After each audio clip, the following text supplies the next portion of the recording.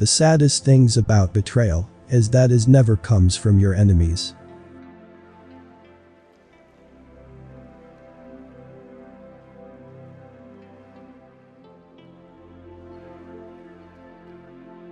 It is easier to forgive an enemy than to forgive a friend.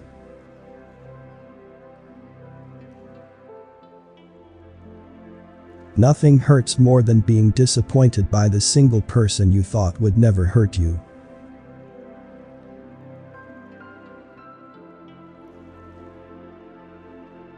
Betrayal doesn't only break your heart, but also darkens your soul.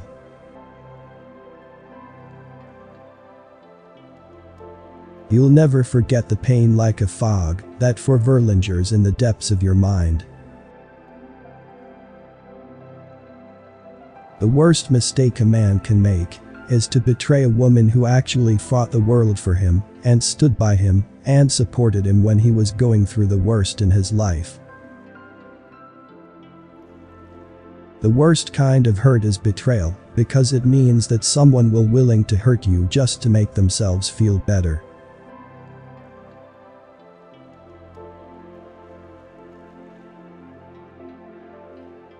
When someone betrays you, it is a reflection of their character, not yours.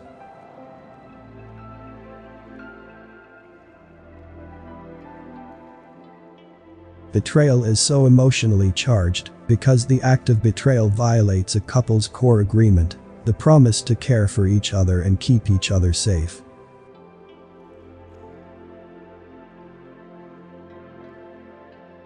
The worst feeling in the world is knowing you've been used and lied to by someone you trusted.